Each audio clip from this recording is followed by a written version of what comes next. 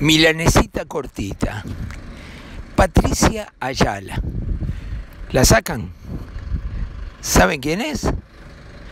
Es senadora, ¿cómo que no la conocen?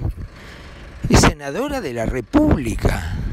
Sí, Patricia Ayala, maestra, artiguense. Ella fue intendenta de Artigas, con el apoyo de Mujica y Lucía Topolanqui que la palanquearon, la sacaron intendente en Artigas. No la conocía nadie. Hizo un desastre en la intendencia de Artigas, pero desastre grande, de verdad, ¿eh? pésima gestión, sospechosa en muchos aspectos, cero obra. ¿Cómo será que cuando se quiso candidatear para ser reelecta, los artiguenses le dijeron que no? Pero igual sin trabajo no se quedó. Mujica y la Topolaski la pusieron en la lista al Senado de la República.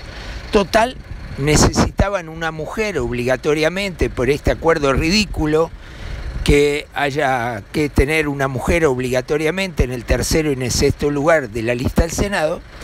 Y hoy Patricia Ayala es senadora de la República.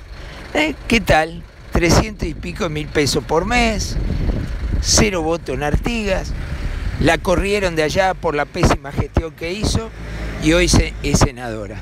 Por eso el movimiento Basta Ya propone y propondrá en el Parlamento con sus propios legisladores una reforma electoral en la cual los uruguayos puedan votar de una lista a este sí y a este no para terminar con las listas sábanas que tanto daño le han hecho a la política uruguaya.